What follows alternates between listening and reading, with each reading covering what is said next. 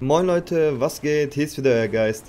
Heute in diesem Video möchte ich euch zeigen, wo ihr die morgige Aquaman Woche 4 Herausforderung lösen könnt, bei der, bei der ihr einen Backbling bekommt.